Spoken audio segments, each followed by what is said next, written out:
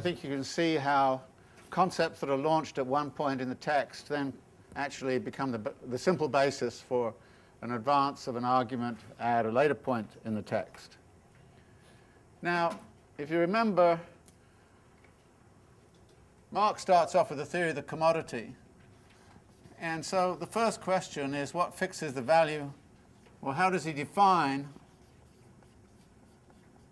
the value of the commodity? So, how did he define it? What's the value of a commodity? Socially necessary labor time, okay? So the value is socially necessary labor time.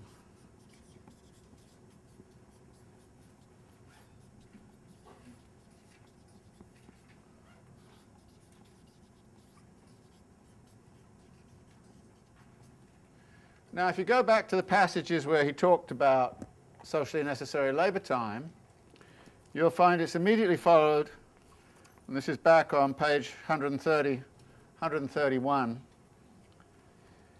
It's immediately followed by a discussion of the impact of changing productivity upon the value of commodities. So the question is, what does rising productivity do to the value of commodities? Lowers them. So the, it lowers the unit value of commodities.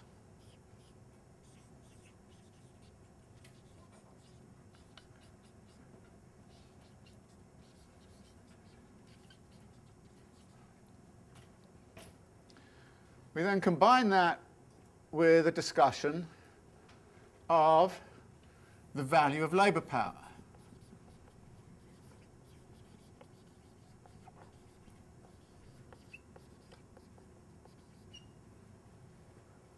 What was it fixed the value of labour power?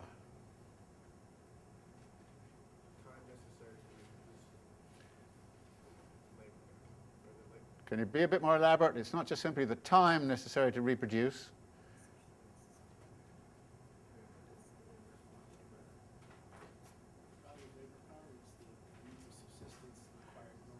It's the, it's, it's the value of the means of subsistence needed to reproduce the laborer at a given standard of living. So it's the value of that bundle of commodities that the laborer needs to survive.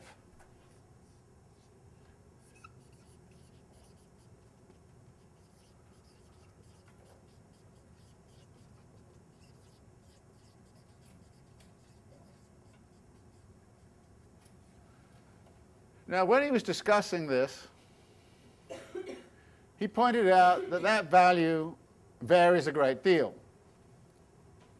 According to conditions of class struggle, the degree of civilization in a country, uh, so the bundle of commodities was not constant across space and time. But then he said, but at a given, in a given society at a given time, we know what that bundle is. And so therefore we have a datum which we can establish, which is the value of labour power. But then what he does is to go one step further and say this, that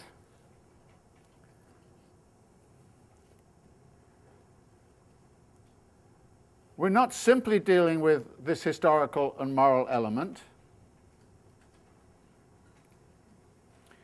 So you go to page 276.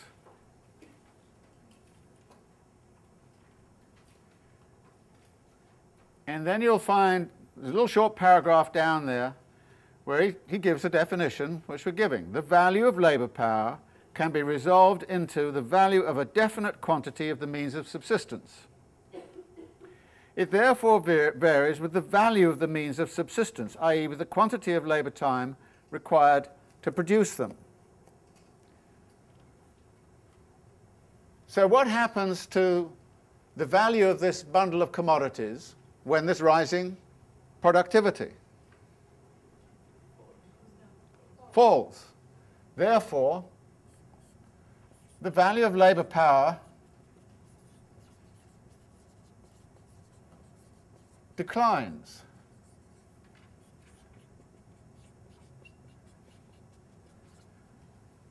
Not in terms of physical of what people are physically receiving. You still get the same bundle of commodities, right? But they just cost you much less.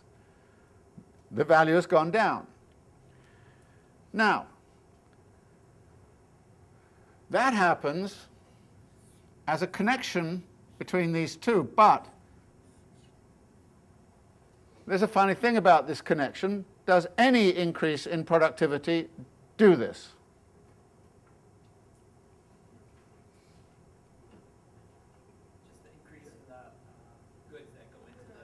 Just, just, just in what we would call, this only operates with respect to what we would call wage goods, i.e. those which enter into this bundle of commodities. So an increase in productivity in making mink coats for the bourgeoisie doesn't do it. The increase in productivity which makes a Lexus cheaper doesn't do it. So any, but anything that goes into this bundle of commodities, which is affected by this, generates, therefore, a lower value of labor power. Now, how does Marx define the rate of exploitation? What is the rate of exploitation?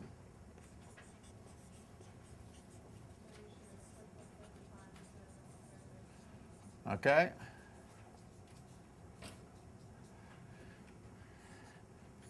Simply put, S over V. What happens to S over V as V goes down?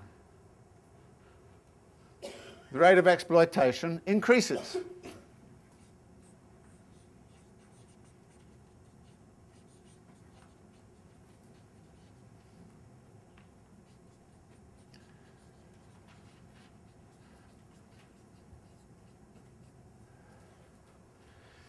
Now, well, of course, what he does in this section is to start out by saying, well, imagine that the working day is fixed. And you can't change the length of the working day anymore. And remember, the previous chapter sort of took up the question of limits. What are the limits on the mass of the surplus value which the capitalist can gain? And those limits are fixed by two things, the rate of surplus value and by the number of labourers you employ. So if the number of labourers you employ is fixed, and the length of the working day is fixed, then the only way you can hope to increase the rate of exploitation and the rate of surplus value is by decreasing the amount you spend on V. Now again, he starts off this section by saying, well, we know that capitalists are very anxious to reduce wages as much as they can. We just heard, right? But I'm not going to consider that case. So he sets up an argument which is again based on the propositions of political economy about a perfectly functioning world. So he says on 431, yeah, I know that capitalists will try to reduce wages below value.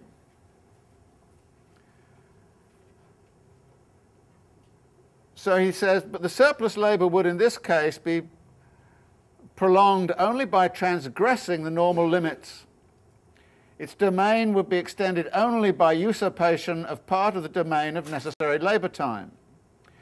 Despite the important part which this method plays in practice, we are excluded.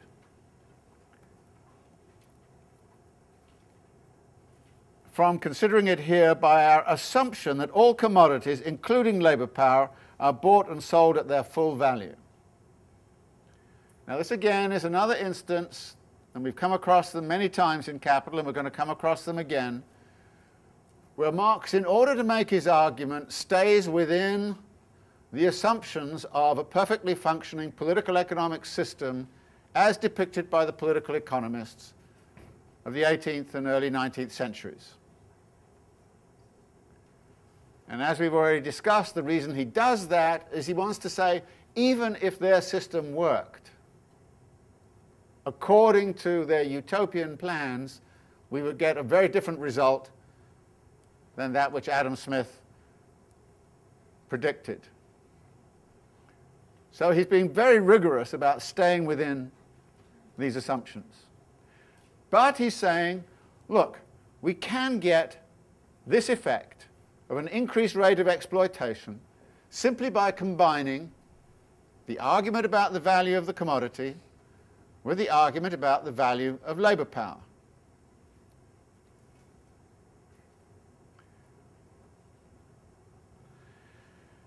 Now this immediately raises some very interesting questions, which Marx does not, at this point, immediately take up. For example, let's suppose there is a dramatic increase in productivity and wage goods come way, way, way down in value. What would happen if you gave a bit of that saving to the working class? You could actually increase the rate of exploitation while increasing the physical living standard of the workers. Now, this is a very, very important element in the argument. Because one of the things that people will always say to you is Marx is always talking about an increasing rate of exploitation, but my God, look how well off the working class are now in terms of the products they've got as opposed to what they had 150 years ago. So his thesis about an increasing rate of exploitation is obvious nonsense. Well, the answer to that is it's not obvious nonsense at all. It's perfectly feasible within a capitalist system that increasing productivity produces such an increase in the quantities of, of commodities which are available that a certain segment has to go to the working class, otherwise you wouldn't have a market. And that segment that does go to the working class is, of course, one of the great ways in which you can pull the working class into support for capitalism by saying, look, you're getting better off all of the time.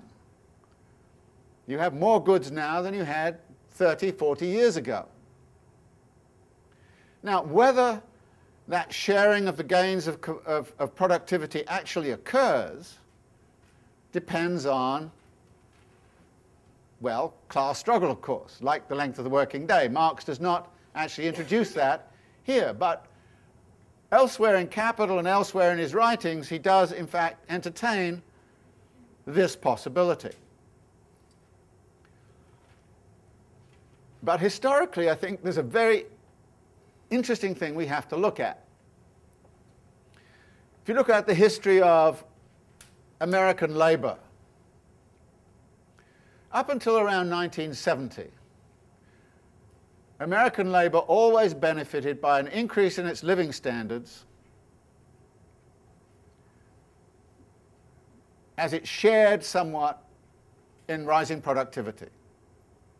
And in fact, a typical trade union bargaining thing in the 1960s was precisely to say to the unions, you agree to these means by which we will increase productivity, and we'll agree to give you more money so that you get more in the marketplace. So it's a kind of productivity sharing agreement. Since the 1970s, all of the data in this country show, not necessarily globally, but in this country show, that the working class has not benefited from gains in productivity hardly at all. In other words, real wages have remained pretty stagnant for the last 20, 30 years, a little bit increased in the 1990s, but pretty much stagnant, which means that the working class has not shared in the benefits that come from from rising productivity. So guess who's taken it all? Well, you know, hedge fund folk and all the rest of it. So we get an incredible increase in inequality over the last 30 years, which is partly an indicator of the fact that working class in this country has not benefited from this at all. Again, that has a lot to do with the state of class struggle, how class struggle is being set up, and all the rest of it. Marx does not deal with that in this chapter.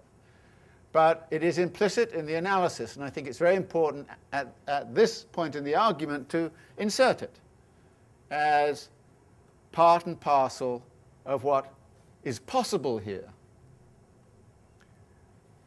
So the proposition would simply be this, that it is entirely feasible for there to be an increase in the physical living standards of the working class at the same time as there is an increase in the rate of exploitation. So bear that proposition in mind. Secondly, there's another issue which he does raise in this chapter, but which I want to suggest might have a slightly different answer. What happens when somebody increases productivity? An individual capitalist increases the productivity in shoe production and the value of shoes goes down and this is what workers need. See what happens. An individual capitalist does something which is of benefit to the whole working class, to the whole capitalist class, sorry. It's a benefit to everybody in the capitalist class. Because the value of labour power goes down because shoes are cheaper, all capitalists can pay less value. So he raises the question, why would an individual capitalist do something which is for the benefit of the whole capitalist working class? I mean, maybe they're endowed with incredible class consciousness when they do this. But at some point, they're likely to get really teed off in the sense that they'll say, well, look, I'm putting all this in effort into innovating and raising productivity. Everybody's benefiting. You're all sitting around doing nothing. You're playing what's called the free rider game. You're, you're all, all the rest of you, you're doing nothing.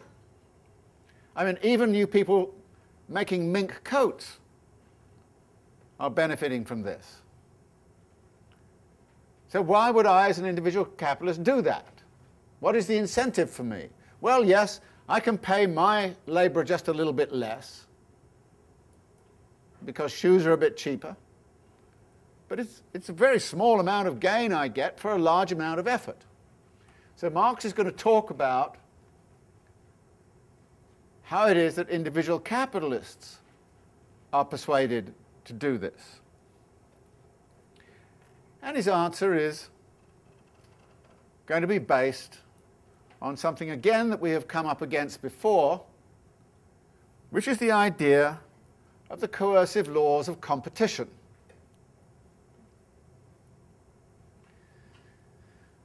Now, Marx is very restrained about how to look on competition throughout capital. In part, I think, because he wants to view it a bit like demand and supply as something that equilibrates the system rather than being fundamental to the character of the system. So what he does is, is to sort of then immediately introduce the idea. We have to look, he says, at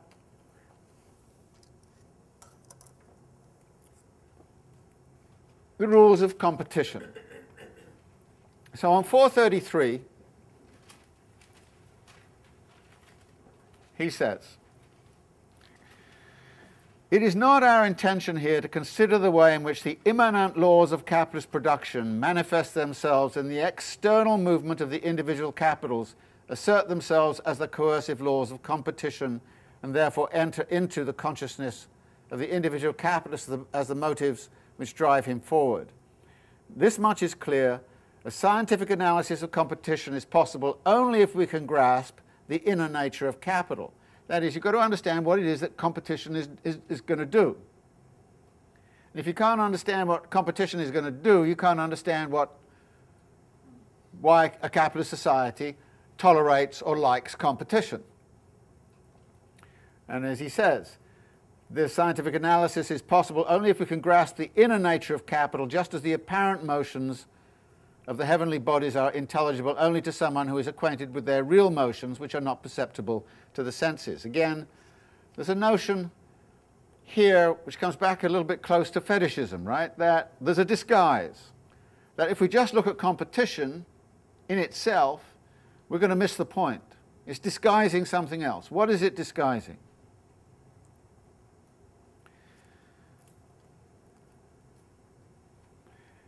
What is disguising, he points out on 434, 435, is this. That socially necessary labour time is a social average. So the value of commodities is a social average.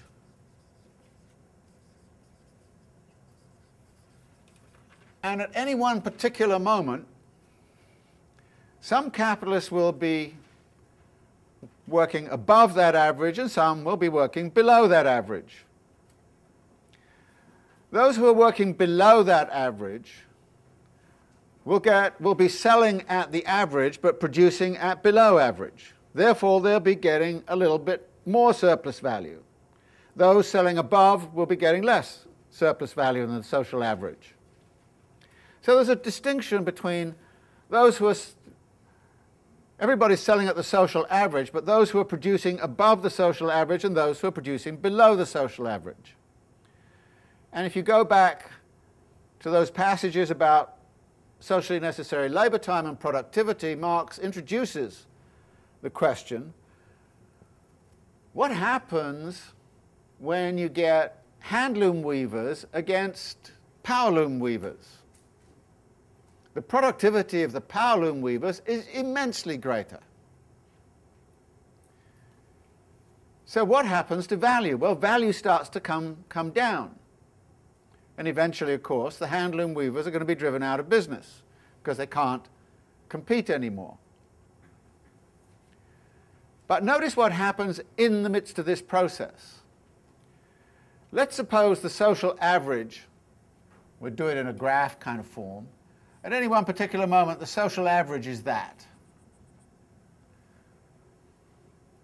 10 units to produce a widget or whatever. Let's suppose I come up with a superior way of making widgets. Then I'm still going to sell at this average, but I'm going to produce at this one here.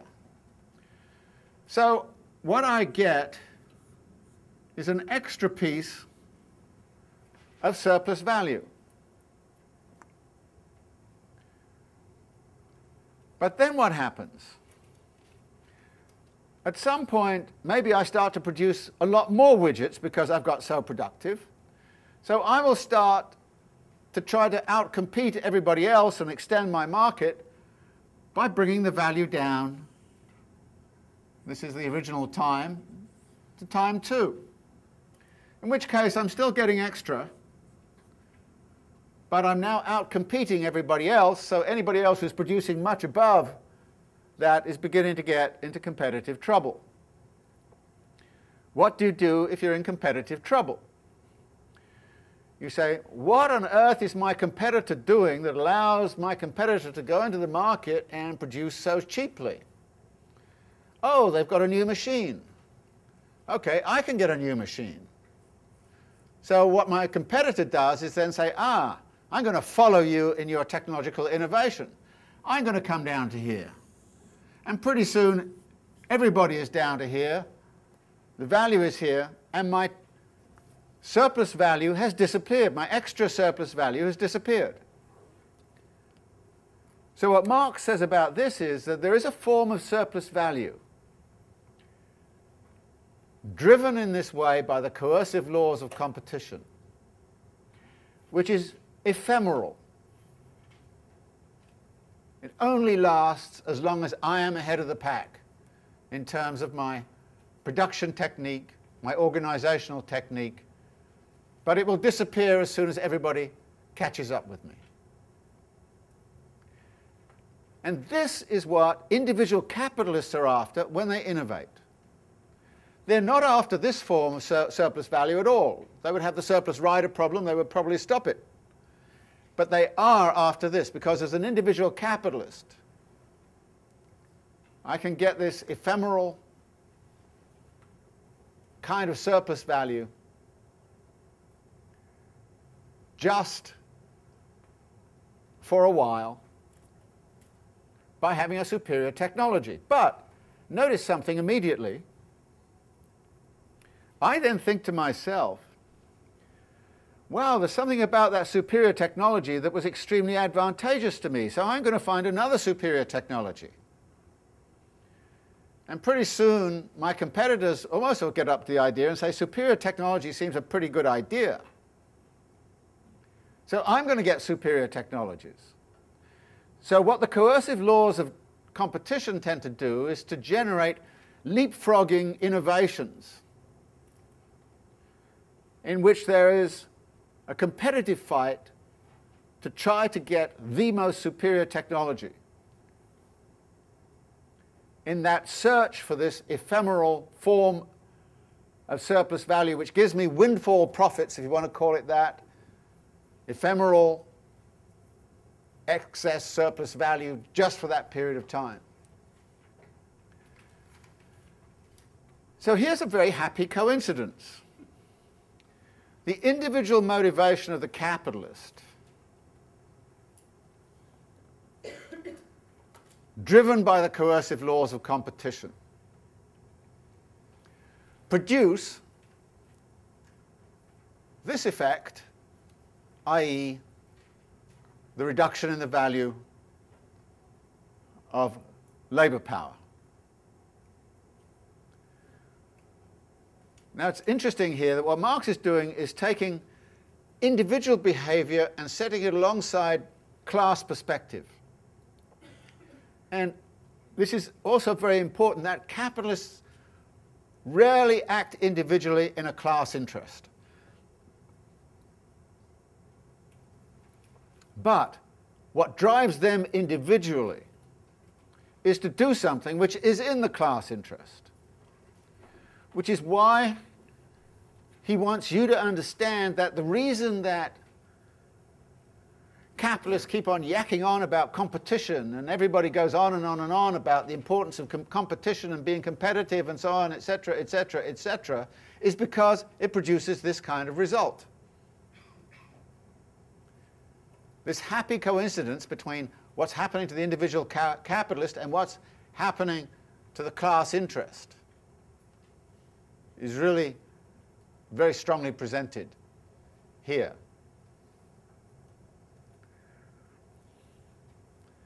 This also produces something else.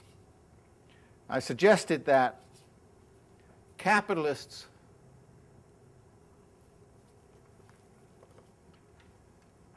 driven by the coercive laws of competition, are going to be pushed towards innovation. Now, there's an interesting thing. In a lot of studies, you will find innovation treated as something which is outside of, it's external to dynamics. It's, an exogenous variable. It's outside of. It just happens, you know. Edison had an idea or somebody else had an idea or, you know, it just happened. But what Marx is, is doing here is actually internalizing it within the logic of capital itself. That is, when you see what he's doing here, you immediately would understand that there's no way in which a capitalist society cannot be technologically dynamic. It has to be. And of course, historically, many people now would look at other modes of production and say, well, you know, the problem was they weren't technologically dynamic. One of the criticisms of uh, the ex-Soviet Union was they weren't technologically dynamic. They didn't come up with, you know, new brands of toothpaste at, you know, two a month or something like that. They didn't do those kinds of things. Actually, they were technologically dynamic in certain areas, laser technologies and all those kinds of things, but they were not technologically dynamic in the way that capitalism is. But what comes out of this is that technological dynamism is both inevitable and a good thing. If somebody came from outer space and put a moratorium upon technological change under capitalism, then the whole system would collapse. So what Marx is kind of saying is it's an internal necess necessity. That's what the value theory goes back to about the socially necessary. What is socially necessary for capitalism to survive? Technological dynamism. Along, of course, with growth. Capitalism either grows or dies. It's technologically dynamic or it dies. What Marx is doing here is, is, is, is explaining to us why and how that internalization of technological dynamism becomes so important. So you don't go back to the great inventors and all that kind of stuff and explain technological dynamism simply by talking about the great inventors. You explain it by a system that begins to sort of particularly kick in towards the end of the 18th century, in which this internalization of technological dynamism really pick, takes off. And that is, if you like, a central aspect of a capitalist mode of production. but then this leads to one other question. Is there any way in which capitalists could realize this increased exploitation through collective action? Marx here does not raise that possibility. But actually, that possibility was raised in the chapter on the working day. Can you remember what it was?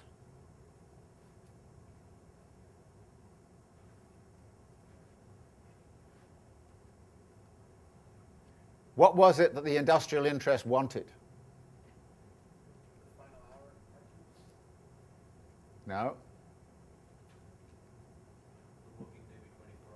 No.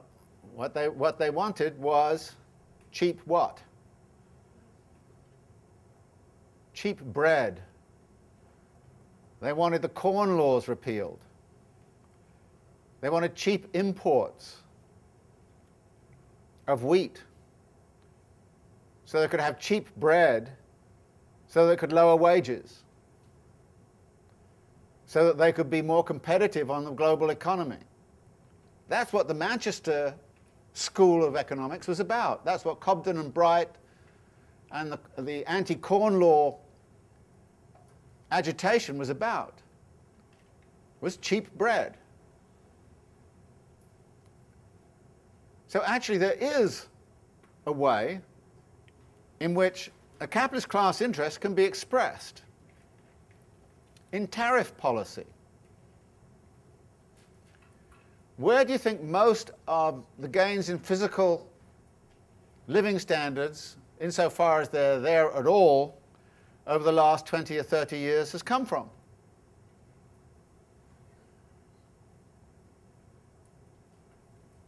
Where does it come from? Cheap Chinese imports. Walmart.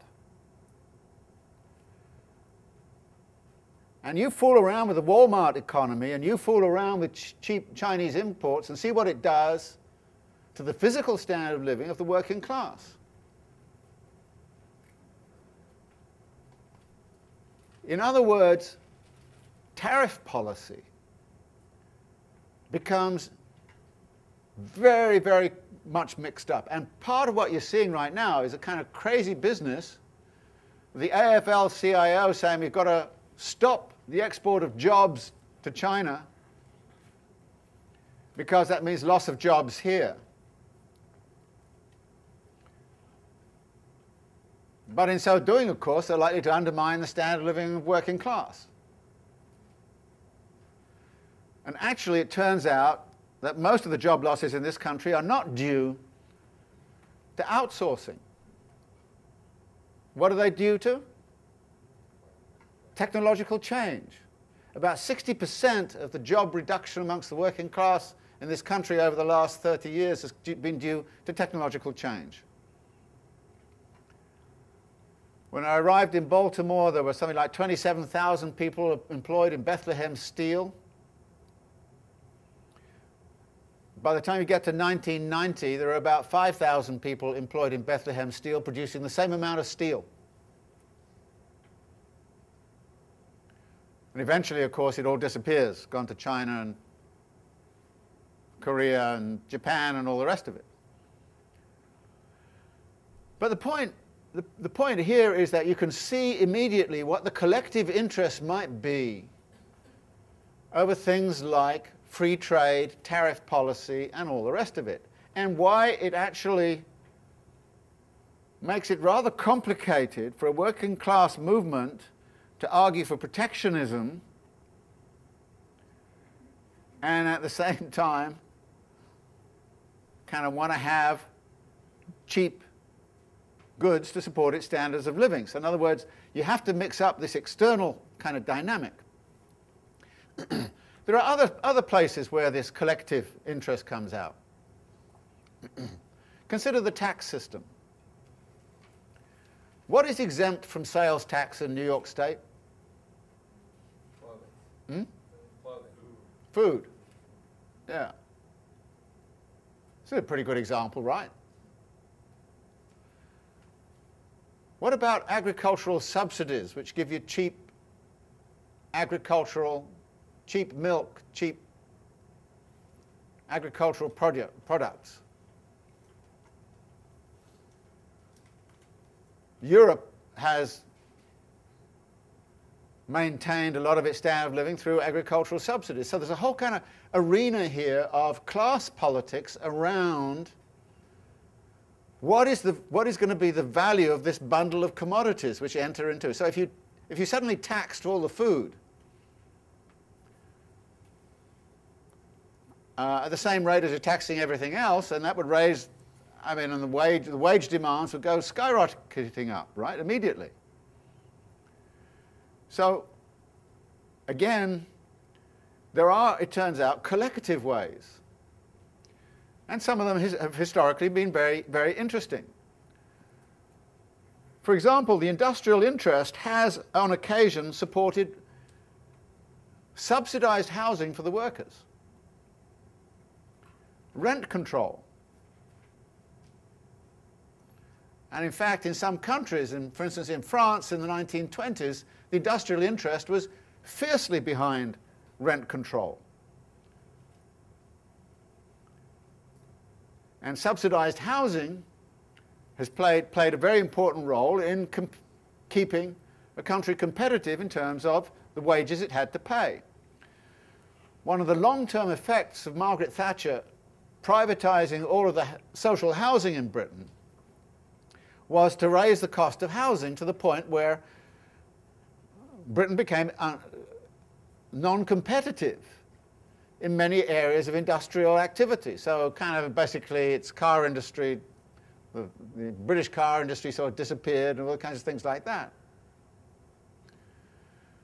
So politics gets played around what is it that is fixing the value of this bundle of commodities. So Marx does a great job in this chapter of talking about the way in which this individual incentive has this effect, but he does not take up.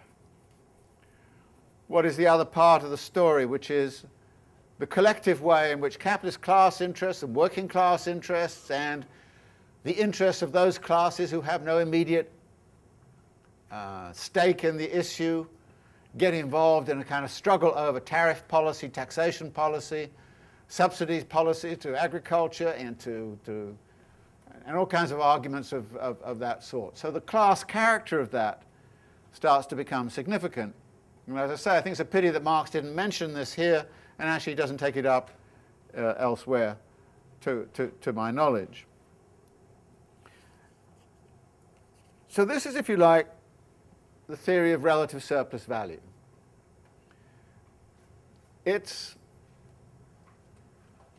a very simple formulation, as I've suggested, but it's one you have to really think about and, and get straight by going back over these propositions. Going back over, for example, what is it that fixes the value of labour power? And then asking the question, what is it that fixes the value of that bundle of commodities? So you've got to get those connections straight. Because for some reason or other, people often seem to have difficulty in seeing the difference between this social class form that I'm talking about and the individual form and what the relationship is between the two. But I think you can see it immediately when you say rising productivity arises out of this search for ephemeral relative surplus value. And it generates a social form, provided it affects the value of labour power. It seems to me important when reading these two chapters and the, ch the long chapter on machinery that follows to recognize that Marx is as interested in organizational form, if you like, the the software as he is in the machines, the hardware, and all the rest of it. So you have to look at, at Marx's theory of technology as not simply be about machinery, but also being about organizational form. And the two organizational forms which are basic right through to our situation are cooperation and division of labor and how those work. The distinctive form under capitalism is, of course, the, the development of machinery and a machine culture in, in general. But that doesn't mean that cooperation and division of labor disappear. They are integral to the acquisition of relative surplus value because both cooperation and division of labor, when you look at the reorganizations, are about finding ways to increase productivity.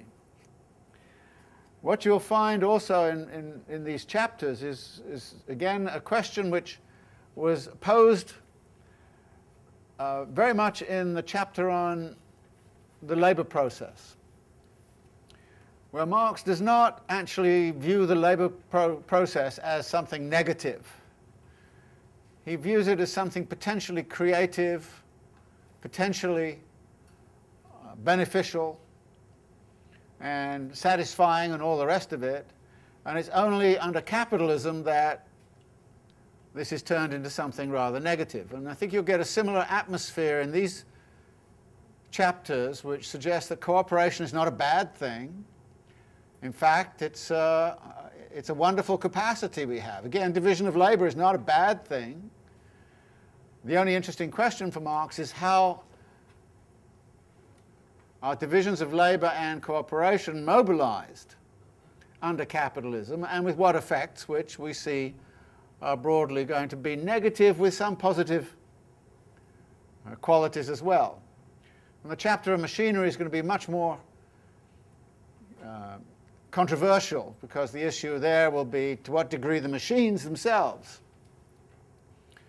are inherently so capitalistic that you can't really hold with them very much longer if you want to be socialist, or to what degree are they also, is it possible also to convert them into something which is positive uh, for humanity in general and for the laborer in particular.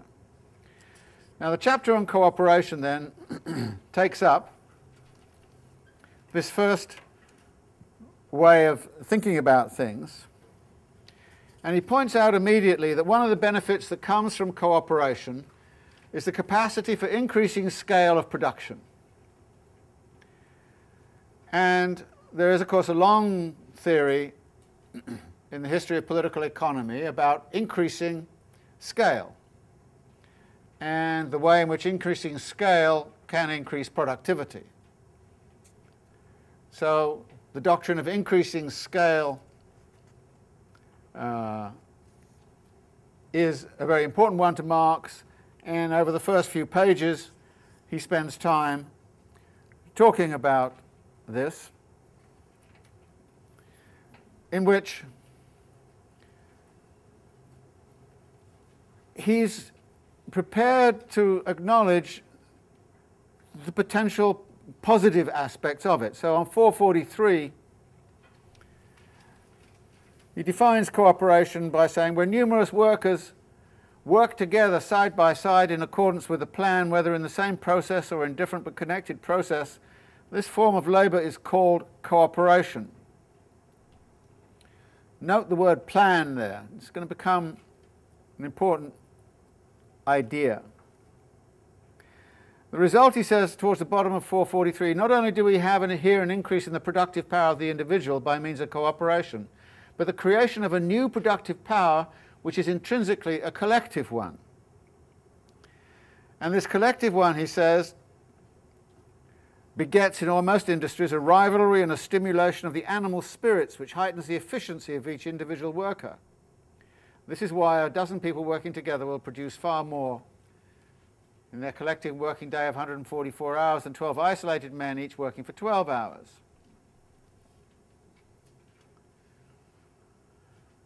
So he then talks about the way in which that cooperation can be mobilized within industry and what this allows to occur. So on 446 and 447, he talks about the way in which cooperation allows work to be carried on over a large area. On the other hand, while extending the scale of production, it renders possible a relative contraction of its arena. This simultaneous restriction of space and extension of effectiveness, which allows a large number of incidental expenses to be spared, results from the massing together of workers and of various labour processes, and from the concentration of the means of production. Interesting tension here between the expansion, the geographical expansion, the spatial expansion, and the geographical concentration. And as he will point out later on, this geographical concentration, bringing workers together, has certain political consequences as well. But he insists on 447 towards the bottom there, towards the middle there. The special productive power of the combined working day is, under all circumstances, the social productive power of labour or the productive power of social labour. This power arises from cooperation itself. Again, when the worker cooperates in a planned way with others, he strips off the fetters of his individuality and develops the capability, capabilities of his species. Now, occasionally Marx goes back to some notion of species being, which is very important in the economic and philosophic manuscripts. And here's one of those moments. And at this point, it's very hard to view this discussion of cooperation in a negative light. You strip off the fetters of your individuality and develop the capability of the species. There's a sort of almost positive tone about this.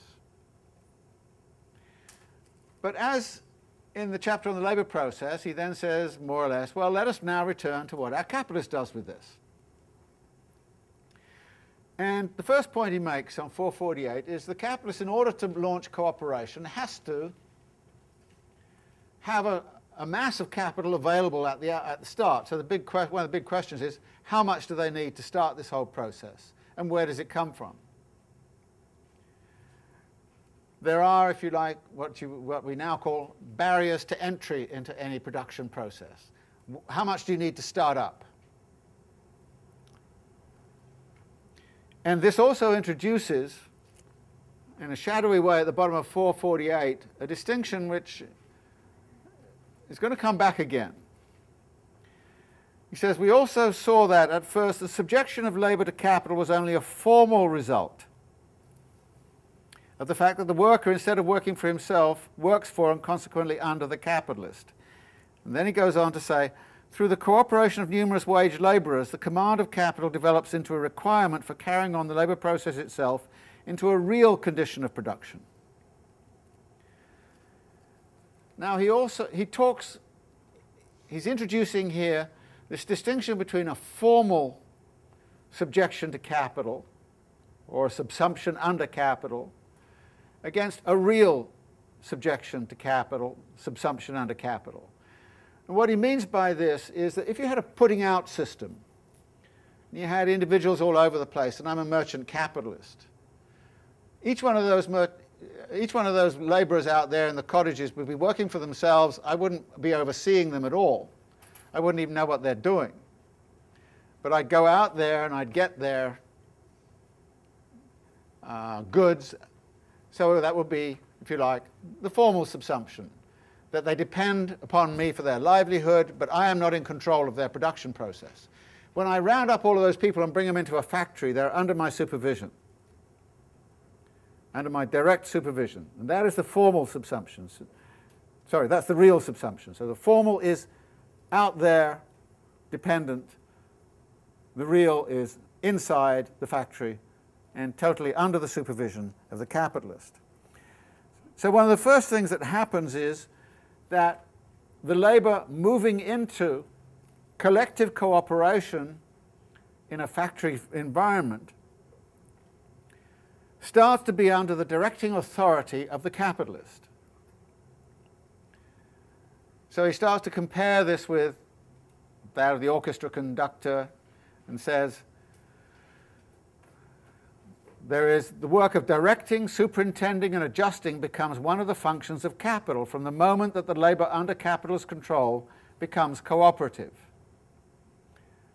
That is, the real subsumption results in this. As a specific function of capital, the directing function acquires its own special character.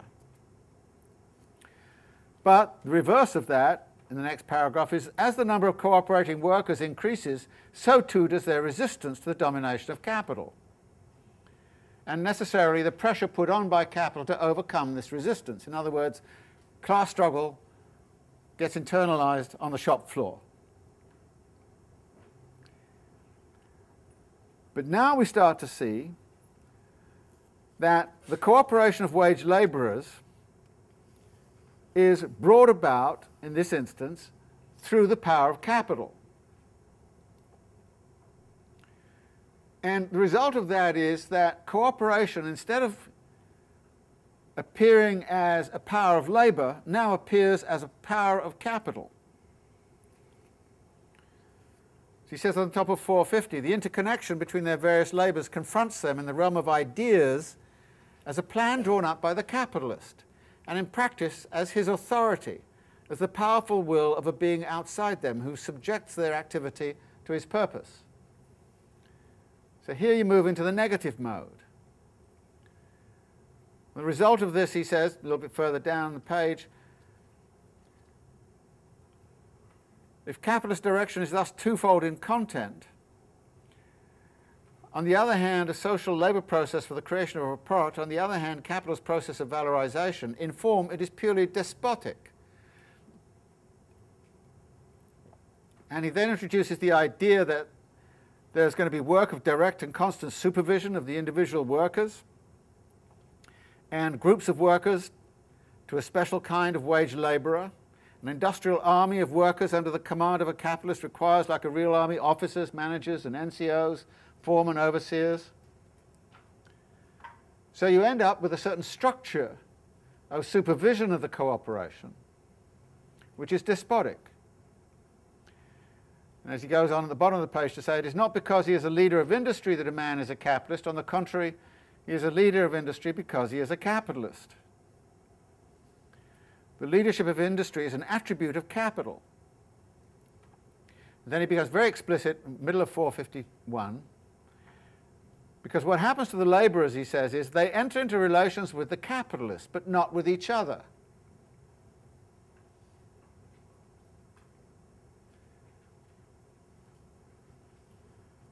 Their cooperation only begins with the labour process, but by then they have ceased to belong to themselves. On entering the labour process, they are incorporated into capital. As cooperators, as members of a working organism, they merely form a particular mode of existence of capital.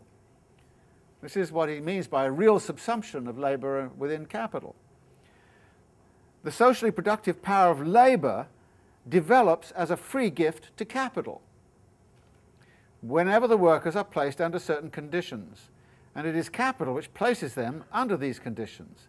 Because this power costs capital nothing, while on the other hand it is not developed by the worker until his labour belongs itself, itself belongs to capital, it appears as a power which capital possesses by its nature, a productive power inherent in capital. So we get this inversion from something that is an inherent power of labour,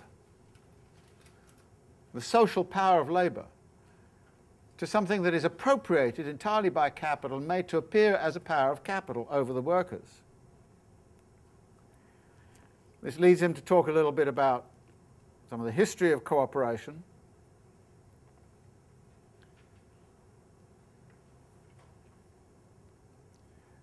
And here he says that there has been, of course, enforced cooperation, Middle Ages, slavery, colonies, slave labor.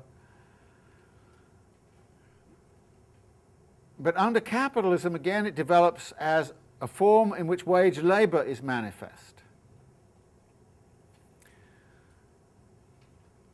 And 453 says a simultaneous employment of a large number of wage laborers in the same labor process, which is a necessary condition for this change, also forms the starting point of capitalist production. This starting point coincides with the birth of capital itself. If then, on the one hand, the capitalist mode of production is a historically necessary condition for the transformation of the labour process into a social process, so on the other hand, this social form of the labour process is a method employed by capital for the more profitable exploitation of labour by increasing its productive power. There is an interesting thing here where Marx is talking about a co-evolution. Capital originates, as it originates, it animates, appropriates certain forms of cooperation.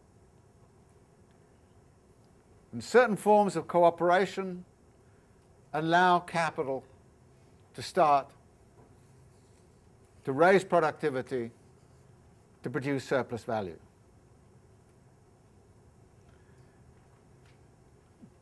And we can never forget, however, that this originary point stays with the whole history of capitalism. So he concludes on 454, simple cooperation has always been and continues to be the predominant form in those branches of production in which capital operates on a large scale. But the division of labour and machinery play only an insignificant part. Cooperation remains the fundamental form of the capitalist mode of production, although in its simple shape it continues to appear as one particular form alongside the more developed ones. So you cannot imagine a capitalist mode of production without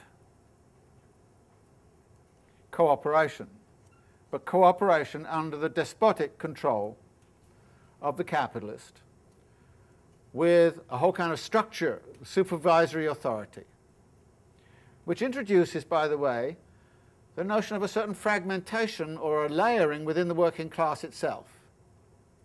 That there's a managerial strata, foremen, operatives, so that instead of talking about the wage labourer, we now start to envision a working class which is stratified according to these kinds of functions within a cooperative apparatus which is fiercely despotic.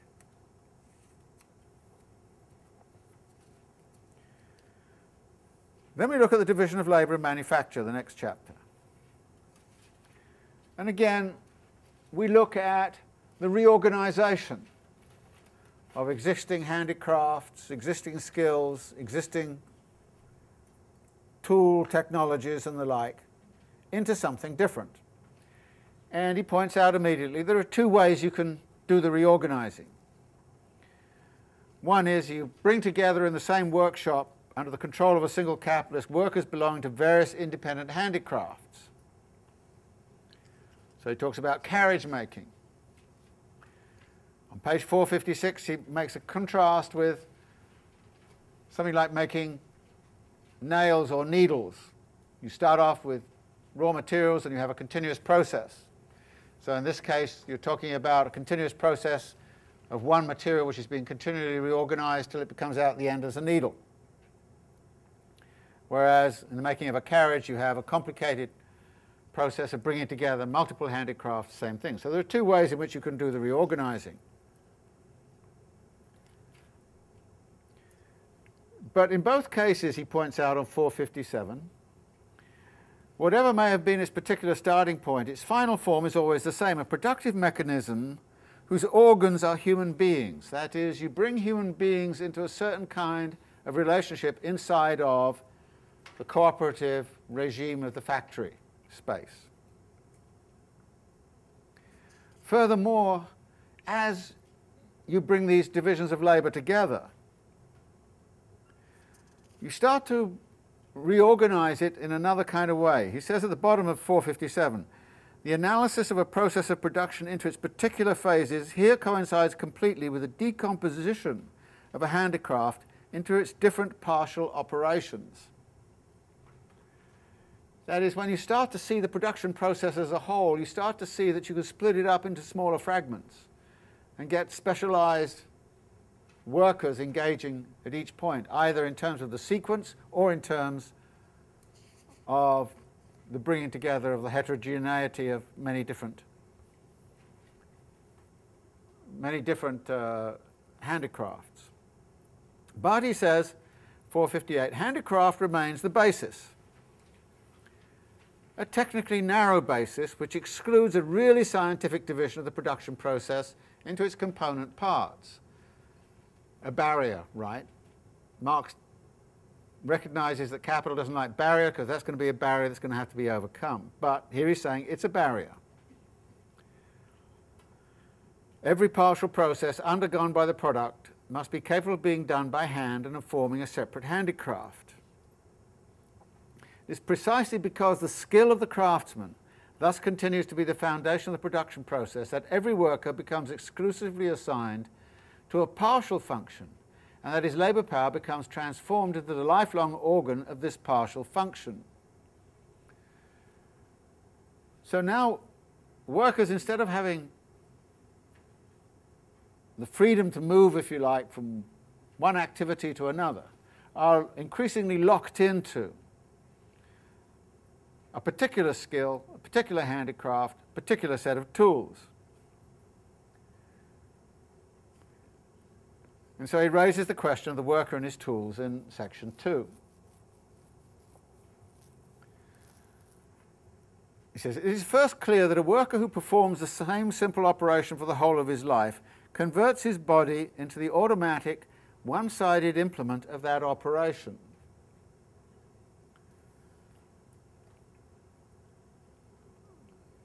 Going to be an interesting discussion here as to whether the worker is in control of the tool well, the tool is in control of the worker. And what's the relationship between tool and worker? And here he's suggesting that the social imprisonment of somebody in a particular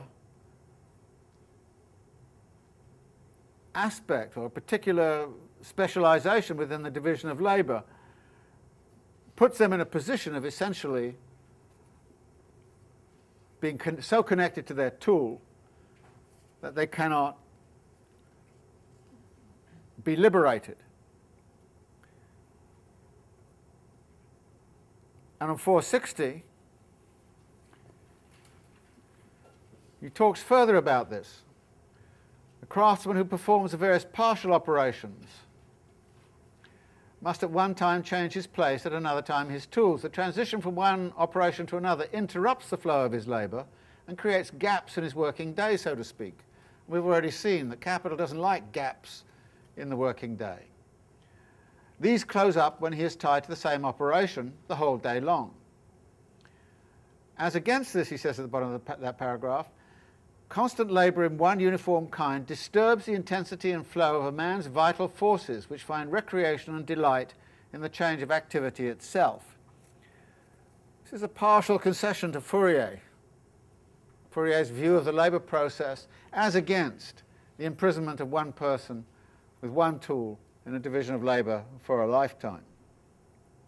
So we're beginning to see this kind of discussion of the positive and negative aspects of how the division of labour is working under capitalist control. The next section deals with the two fundamental forms of manufacture, heterogeneous and organic, and it really takes up the first, what he does in the first section, section, section where he elaborates on the way in which heterogeneous processes are brought together.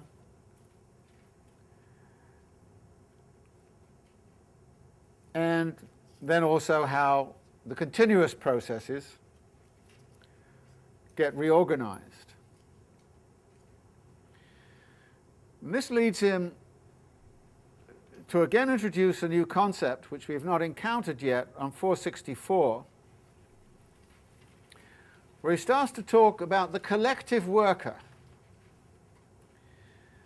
The collective worker, he says, formed from the combination of the many specialized workers, draws the wire with one set of tooled up hands, straightens the wire with another set, armed with different tools, cuts it with another set, points it with another set, and so on.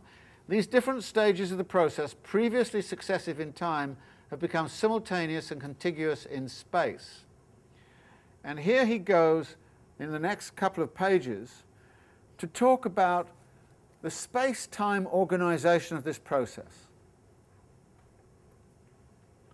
and the efficiencies which can be won through efficient spatio-temporal reconstruction of how the labour process fits together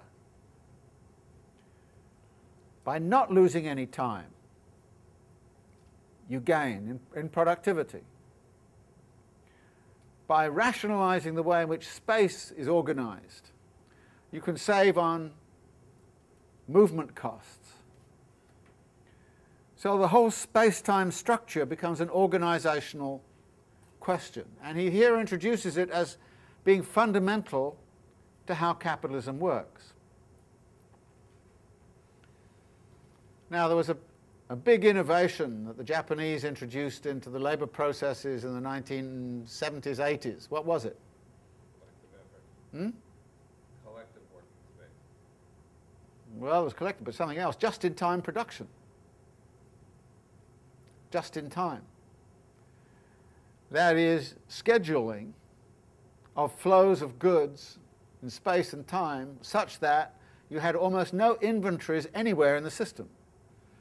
I mean, the typical way in which a, work, a, a, car factory would work was, you know, somebody would bring the, the wheels or something like that, and you'd have a whole stack of wheels outside, and they'd be sitting there, and, you know, you'd have a big stack of them.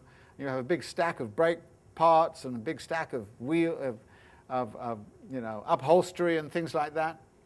What the, just, what the Japanese did was to use a just-in-time system.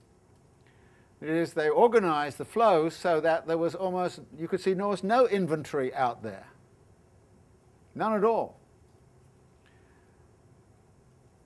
The, the, the, trucks would come up to the, the place and, and, and exactly the same number of wheels you needed on that day would be on the truck. Exactly the number of, of other component parts would be on the truck. This was a tremendous innovation in industrial production. It, uh, and, it, and it actually was the innovation which of course gave the Japanese car industry its big competitive advantage over all others during the 1980s. So suddenly you find all of the car companies everywhere around the world are engaging in the just-in-time system. General Motors goes for it, they all go for it. So the just-in-time system is, I think, again, a very good contemporary example of exactly what Marx is talking about. And it was, of course, put in that competitive stuff about relative surplus value. When the Japanese got this organizational form of the just-in-time system, they got this extra surplus value. They got the ephemeral form, so everybody else scrambles to catch up.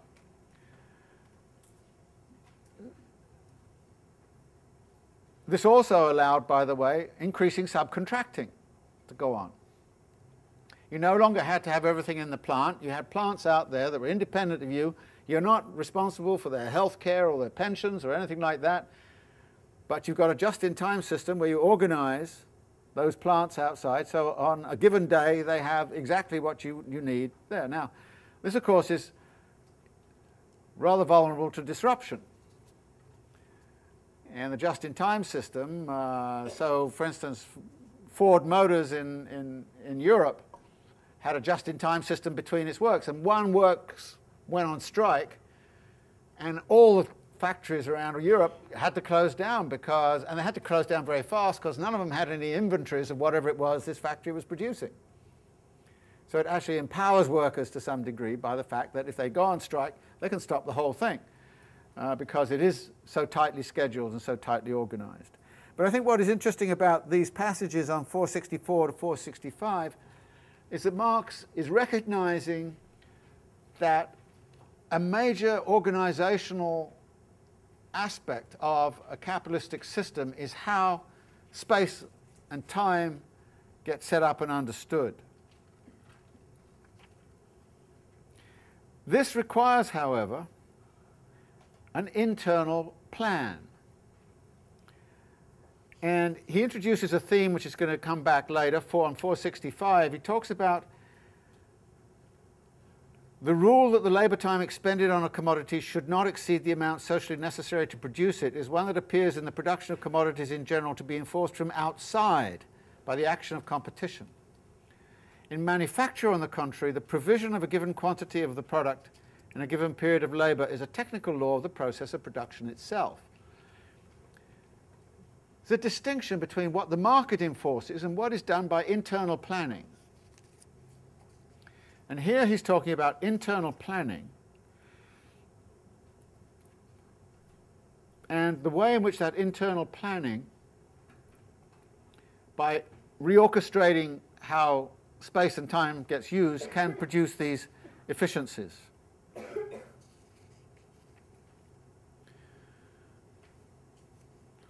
But, again, there is a barrier. And the barrier lies in the fact that you're still dealing with handicrafts. And he then says on 468, well, it's interesting about the technologies of different social orders. He says the Roman Empire handed down the elementary form of all machinery in the shape of the water wheel. The handicraft period bequeathed to us the great inventions of the compass, gunpowder, type printing, and the automatic clock. But on the whole, machinery played that subordinate part which Adam Smith assigns to it in comparison with the division of labour. That is, up until the end of the 18th century, capitalists were not really homing in on machinery and all the rest of it as a way to improve their productive efficiency. They were using these other methods. And of course, there were innovations like compass and gunpowder and all the rest of it, but we hadn't got this internalization of technological innovation within the capitalist mode of production, which happens later on with machinery and, and modern industry. But nevertheless, there is an impact on the workers, even at this early stage. And the impact is already foreseen a little bit earlier, 469, he repeats the argument. The habit of doing only one thing converts him into an organ which operates with the certainty of a force of nature, while his connection with the whole mechanism compels him to work with the regularity of a machine. Further down, manufacture therefore develops a hierarchy of labour powers to which there corresponds a scale of wages. And this derives from the fact, as he said at the top, that workers are divided, classified, and grouped according to their predominant qualities. And we get introduced, therefore, even at this stage, as he says on 470, into a distinction between skilled and unskilled labourers. He says on 470, alongside the gradations of the hierarchy, there appears the simple separation of the workers into skilled and unskilled. For the latter, the cost of apprenticeship diminish, vanishes. For the former, it diminishes compared with that required of the craftsman. In the, both cases, the value of labour power falls because there's de-skilling. He's beginning to talk about a de-skilling process which is going on. But an exception to this law occurs whenever the decomposition of the labour process gives rise to new and comprehensive functions which, which, either did not appear at all in handicrafts or not to the same extent. The relative devaluation of labour power caused by the disappearance or reduction of the expenses of apprenticeship directly implies a higher degree of valorisation of capital. For everything that shortens the necessary labour time required for the reproduction of labour power extends the domain of surplus labour. What we're dealing with here is the fact that in any re reorganisation of a labour process, there can be de-skilling, but there's going to be a small group that's reskilled, if you want to call it that, and put in a superior position. And so you cannot divorce, you cannot simply say it's all de-skilling. You've got to say it's de-skilling and reskilling going on at the same time, and the reskilling can sometimes empower certain segments of workers relative to other segments of workers.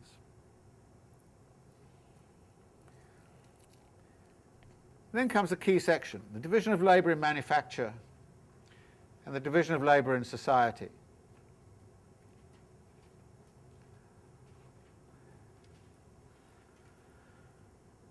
What he's really concerned to do here is to make a big distinction between the detailed division of labour in the workshop, which occurs under the planned design of the capitalist, under the direct supervision of the capitalist, and the division of labour that occurs through market coordinations. And we have to see those two in relationship to each other. That is, they are not independent of each other. So we have to look at these two kinds of division of labour which get set up in this manufacturing period. As he says, the division of labour within, on 471, within society develops from one starting point. The corresponding restriction of individuals to particular vocations or callings develops from another starting point, which is diametrically opposed to the first. The second starting point is also that of the division of labour within manufacture. Within a family and after further development within a tribe, there springs up naturally a division of labour caused by differences of sex and age and therefore based on a purely physiological foundation. Marx might get some criticism for that, but that's his view. On the other hand, he says, as I've already remarked, the exchange of products springs up at the points where different families, tribes, or communities come into contact. For at the dawn of civilization, it is not private individuals, but families, tribes, etc., that meet on an independent footing different communities find different means of production and different means of subsistence in their natural environment. Hence, their modes of production and living, as well as their products, are different.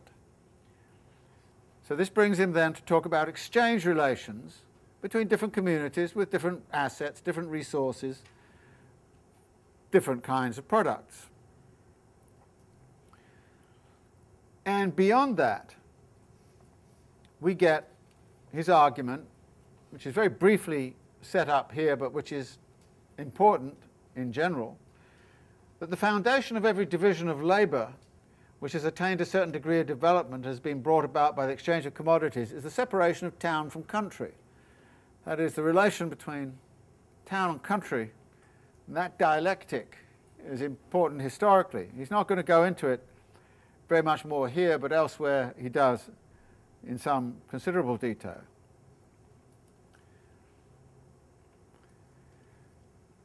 And that, of course, leads him to think about the number and density of the population, which corresponds to the collection of workers together in one workshop. And this, he says, is a precondition of the division of labour within society.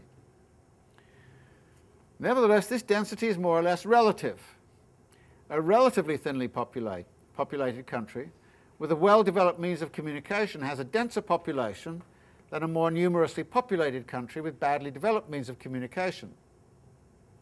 In this sense, the northern states of the USA, for instance, are more thickly populated than India. Interesting, Marx is using notions of relative space-time here. and actually quite an innovative way. Uh, so he's not seeing the terrain upon which this is happening as fixed.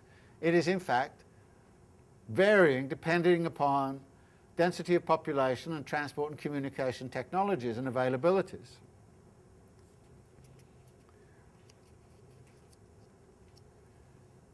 So the division of labour in, ma in manufacture, however, assumes that society has already attained a certain degree of development. Inversely, the division of labour in manufacture reacts back upon that society, developing and multiplying it further.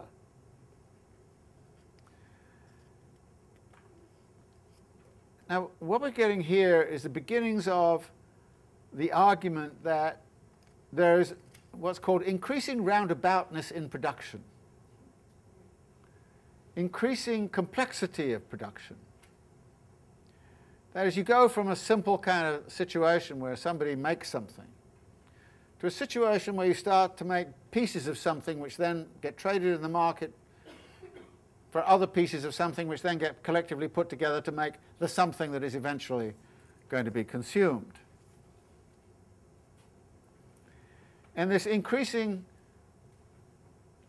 roundaboutness of production is also associated, as he says on 475, with increasing emphasis upon territorial divisions of labour, territorial specializations of labour. 474 in the middle there, he says the territorial division of labour, which confines special branches of production to special districts of a country, acquires fresh stimulus from the system of manufacture which exploits all natural peculiarities. And he then introduces the notion of the colonial system and the extension of the world market, both of which form part of the general conditions for the existence of the manufacturing period, notice this, furnish us with rich materials for displaying the division of labour in society. But he's going to insist towards the bottom that while there are analogies and links between division of labour in society and within the workshop, they differ not only in degree but also in kind. And he then gets into some serious discussion of Adam Smith, which brings him to what I think is the, the crucial passages right at the bottom of 475 and to 476. The division of labour within society is mediated through the purchase and sale of the products of different branches of industry. While the connection between the various partial operations in a workshop is mediated through the sale of the labour power of several workers to one capitalist who applies it as combined labour power. The division of labour within manufacture presupposes a concentration of the means of production in the hands of one capitalist. The division of labour within society presupposes a dispersal of those means among many independent producers of commodities while within the workshop the iron law of proportionality subjects definite numbers of workers to definite functions. In the society outside the workshop, the play of chance and caprice results in a motley pattern of distribution of the producers and their means of production among the various branches of social labour. Okay, okay, he says the different spheres of production constantly tend towards equilibrium because that's the way the market works. And he then explains why, going back over the laws of exchange of commodities. But he then goes on to point out this constant tendency on the part of the various spheres of production towards equilibrium comes into play only as a reaction against the constant upsetting of this equilibrium. That is, when demand and supply gets out of kilter, all kinds of messes happen and you know, prices yo-yo all over the place and there's an adjustment. Producers have to adjust what they're producing and how much. And he says the planned and regulated a priori system on which the division of labour is implemented within the workshop becomes in the division of labour within society an a posteriori necessity imposed by nature controlling the unregulated caprice of the producers and perceptible in the fluctuations of the barometer of market prices. Division of labour within the workshop implies the undisputed authority of the capitalist over men. who are merely members of a total mechanism which belongs to him. The division of labour within society brings into contact independent producers of commodities who acknowledge no authority other than that of competition, the coercion exerted by the pressure of their reciprocal interests, just as in the animal kingdom the war of all against all more or less preserves the condition of existence of every species. So he then goes on to say the same bourgeois consciousness which celebrates the division of labour in the workshop the lifelong annexation of the worker to a partial operation and his complete subjection to capital as an organisation of labour that increases its productive power denounces with equal vigour every conscious attempt to control and regulate the process of production socially as an inroad upon such sacred things as the rights of property, freedom, and the self-determining genius of the individual capitalist. It is very characteristic that the enthusiastic apologists of the factory system have nothing more damning to urge against a general organisation of labour in society than that it would turn the whole of society into a factory. The contrast, he then goes on to say, is anarchy in the social division of labour and despotism in the manufacturing division of labour mutually condition each other. Now, what he's saying here is that capitalists actually love the planned organisation of production within their factory. And they abhor, however, the idea of any kind of social planning of production outside of the factory. So when you hear people going on and on and on about how planning is a bad thing, why don't you say, well, why do they do it so much inside of General Motors? Why are they doing it so much in all of these corporations? Why is it they're engaging in things like total quality management, input output analysis, all the rest of it? Why are they, why are they absolutely into sort of optimal scheduling and design, all this sort of thing? They're, they're, they're planning everything down to the finest detail. So next time somebody says planning is a bad thing, just say, well, okay, abandon it in General Motors and see what happens to any company that, that, that, that fails to plan. And if they can plan very well, then why can't we? Well, the answer then is, well, then you would turn the whole world into one big factory. And look how appalling the factory is. you kind of say, yes, okay, well, that's precisely the point, right? The factory is indeed appalling. But that's because you're planning it in, a way, in that particular kind of way that you're making the factory appalling. And you're admitting it's so appalling by saying, oh my God, if you made the whole world like a factory, just think, I mean, you might even make us work in that kind of fashion. Instead of liberating our genius, our individual genius, to go about and do all these kinds of innovative things we like to do through reorganize, constant reorganizations of the production process. So what Marx is doing here is kind of mocking a little bit this whole attempt to say that you cannot plan. And there are people been sort of saying, well, no, centralized planning is, is impossible. I mean, look at what the Soviet Union got into and all the rest of it. Obviously, it doesn't work. And it doesn't work because it's so complex. The complexity is just too much. And he say, well, actually, if you look at the complexity involved in a large corporation, you producing uh, electronic goods or something like that, actually you find it pretty complex. So you can't make the argument of complexity that's, that's against this. So what Marx is doing here is kind of contrasting these two notions of the division of labor, the detailed division of labor, which is mathematically worked out, scheduled, optimally scheduled, optimally configured, planned down to the last detail with laborers kind of put in slots in certain kinds of ways to maximize efficiency against the incredible inefficiencies of the market system, which nevertheless, through the coercive laws of competition, reinforce the despotism that occurs inside of the capitalist system, inside the, inside the workplace. Because you can see immediately that if I have a super system of exploitation, which gives me surplus value, then others are going to have to follow me. I mentioned the just-in-time system. If I come up with a super efficient way of organizing labor, which is very repressive for labor, but is super efficient for me, then all my competitors are going to have to follow me. So the repressions inside of the factory are not independent of the competitive pressures that are organized outside.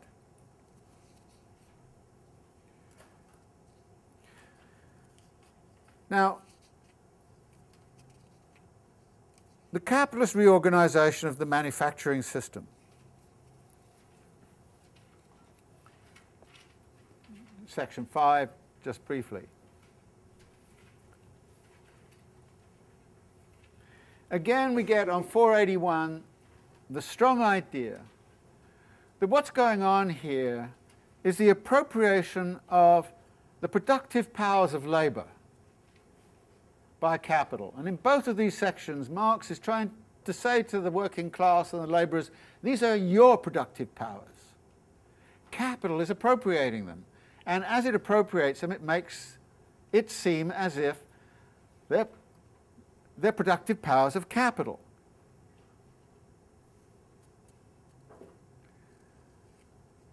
He says on 481, the productive power which results from the combination of various kinds of labour appears as the productive power of capital. Manufacture proper not only subjects the previously independent worker to the discipline and command of capital, but creates an addition, a hierarchical structure amongst the workers themselves. Converts the worker into a crippled monstrosity by furthering his particular skill as in a forcing house through the suppression of a whole world of productive drives and inclinations. Just as in the states of La Plata, they butcher a whole beast for the sake of his hide or his tallow. Not only is the specialized work distributed among the different individuals, but the individual himself is divided up and transformed into the automatic motor of a detailed operation, thus realizing the absurd fable of Menenius Agrippa, which presents man as a mere fragment of his own body.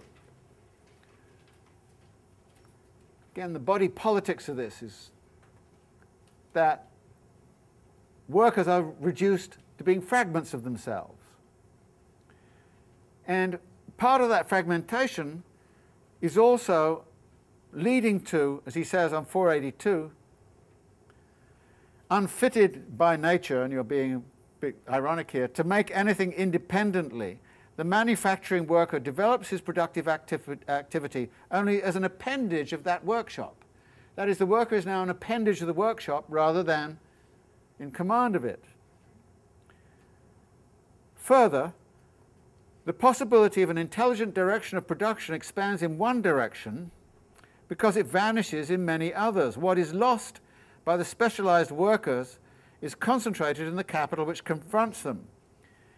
It is a result of the division of labour in manufacture that the worker is brought face to face with the intellectual potentialities of the material process of production as the property of another and as a power which rules over him.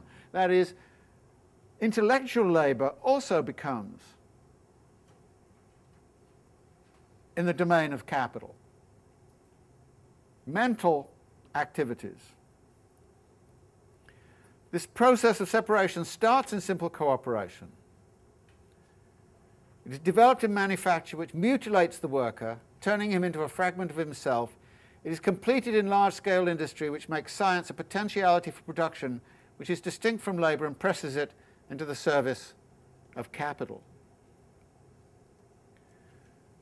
The result of this is an impoverishment of the worker, as he says on the next page, an individual productive power. And he then quotes Adam Smith, very interesting quote. The understandings of the greater part of men, says Adam Smith, are necessarily formed by their ordinary employments. The man whose whole life is spent in performing a few simple operations has no occasion to exert his understanding. He generally becomes as stupid and ignorant as it is possible for a human creature to become. After describing the stupidity of the specialized worker, he goes on, The uniformity of his stationary life naturally corrupts the courage of his mind. It corrupts even the activity of his body and renders him, him incapable of exerting his strength with vigour and perseverance in any other employments than that to which he has been bred. His de dexterity in his own particular trade seems in this manner to be acquired at the expense of his intellectual, social, and martial virtues. But in every improved and civilized society, this is the state into which the labouring poor, that is, the great body of the people, must necessarily fall. Now, Marx is partially is, is, is inclined to accept, to some degree, Adam Smith's argument that the repressions of the workplace do indeed produce this kind of situation.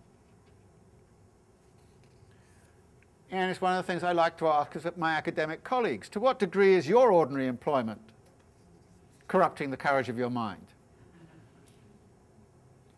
It's not hard to have the courage of your mind corrupted by ordinary employment at all. And it's not just workers who suffer from this problem. Journalists, media folk, university professors, we all have it. You're lucky, your students, you don't have it yet, I hope. So, as Marx goes on to say on the next page, some crippling of mind and body is inseparable even from the division of labour in society as a whole. And this does indeed produce what he calls industrial pathology. Now, Marx is not going to pathologize the whole of the working class at all, but he's going to say, look, there are impacts of all of this on people's abilities to react, to think. And for those of you who've ever done much organizing with, with you know, people who are working 80 hours a week, you find it's not an implausible thing at all to point out that indeed they don't have time to think about most of the things that we would expect them to think about given their working class position. They're so busy trying to make ends meet, they're so busy trying to get enough food on the table for their kids in time and do all those kinds of things. They don't have time. And they don't even have the kind of, if you like, the, the, the time and the, and, and, and, the, and, and, and the ability to sit around and think and think through a lot of these issues. So Marx is, is sort of quoting Adam Smith as being, yeah, extreme about this, but nevertheless there is something to it which we have to recognize.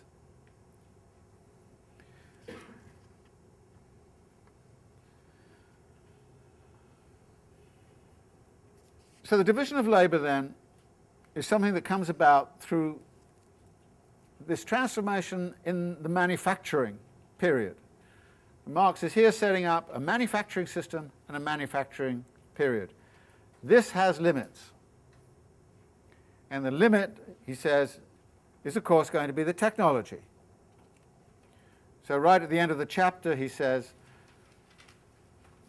490, 491, manufacture was unable either to seize upon the production of society to its full extent or to revolutionize that production at its very core.